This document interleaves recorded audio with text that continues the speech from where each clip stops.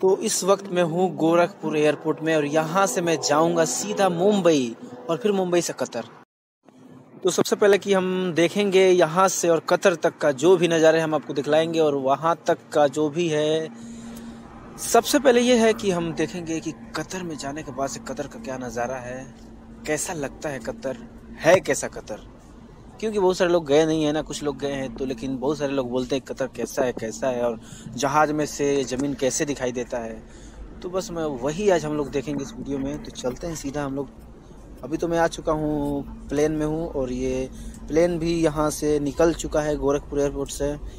तो अभी यहाँ से अभी हम लोग सीधा मुंबई जाके वहाँ से फिर जाएँगे कतर में।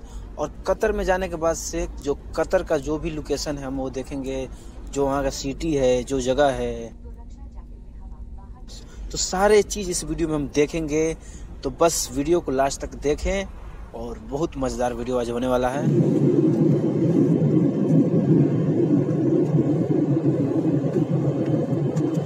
तो इस वक्त तो मैं हूँ अभी आसमान और ज़मीन के बीचों बीच में और ये देख सकते हैं नीचे का जो नज़ारे हैं, जो ज़मीन दिखाई दे रहा है आपको, कैसे दिखाई दे रहा है, देखिए थोड़ा। बिल्कुल मकान तो ऐसा चीटियों की तरह दिखाई दे रहा है। तो शायद आप लोगों में से बहुत सारे लोग ऐसे देखे नहीं होंगे तो देख लीजिए। और अभी हम लोग मुंबई एयरपोर्ट पे आने वाले हैं बस थोड़े देरों में, और ये मुंबई एयरपोर्ट पे हमारा प्लेन अब लैंड हो रहा है धीरे धीरे तो देखेंगे मुंबई एयरपोर्ट भी कैसा है, बस एक झलक देखेंगे, उसके बाद सीधा हम लोग कतर निकलेंगे, वहाँ पे जाके फिर वहाँ का जो भी है, सब कुछ देखेंगे इस वीडियो में। तो बस प्लेन तो तकरीबन बस लैंड ही होने वाला है।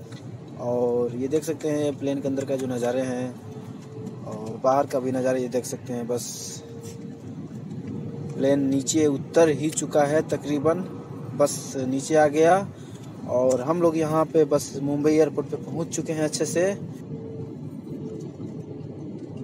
तो देख सकते हैं, जैसे यहाँ पे मुंबई एयरपोर्ट का जो नज़ारे हैं, जहाँ पे देखिए कितना प्लेन लगा हुआ है और यहाँ पे हम लोग आ चुके हैं और बस अब यहाँ से सीधे हम लोग उड़ेंगे, यहाँ से तो सीधे जाएँगे कतर में।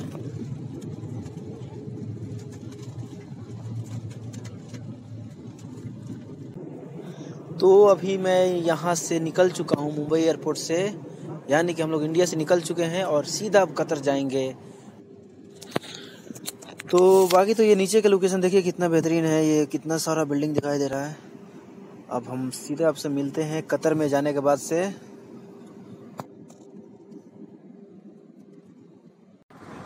तो अभी तो मैं कतर में आ चुका हूँ। देख सकते भी हो आप ये कतर कैसा है। और आगे आपको लेके चलता हूँ सीधे समुद्र के पास। तो हम अभी समुद्र के पास आ ही चुके हैं। और ये वो जगह है जहाँ पे कतर का सबसे ही बेहतरीन जगह माना जाता है। घूमने वाला टूरिस्ट जगह है ये। दोहा सिटी है, जो कि हम इसको कॉर्निस बोलते हैं। और यहाँ पे हर वो आदमी जो कतर में आता है घूमने के लिए, वो यहाँ पे ज़रूर आता ही है। क्योंकि ये सबसे बेहतरीन जगह है कतर का। और ये है सिटी सेंटर देख सकते हैं। बहुत ही खूबसूरत है ये जगह। और अभी हम लोग आए हैं यहाँ पे, देखिए, सुबह का टाइम है और यहाँ पे अभी ये बूट चल रहा है। बहुत ही बेहतरीन जगह पेरल कतर है और यहाँ भी बहुत ही लाजवाब तरह का लोकेशन है घूमने के लिए। और थोड़ा देखेंगे अभी पैरासूट थोड़ा देर में आगे चलते हैं। और ये पैरासूट के पास भी आ चुके हैं हम लोग। यहाँ पे देखिए पैरासूट भी कितने कमाल का है, बल्कि ये पैरासूट नहीं सॉरी ये बैलून है हॉट बैलून बोलते हैं इसको। और ये दिखाता हूँ आपको यहाँ का साइड का जो नज़ारा है। तो ये देखिए, ये पेरल कत्तर है और बहुत ही शानदार है। तो बस उम्मीद करता हूँ वीडियो अच्छा लगा होगा। बस इतना ही है आज के लिए और हमारे चैनल पे अगर नए हो तो चैनल को सब्सक्राइब कर देना यारो। बस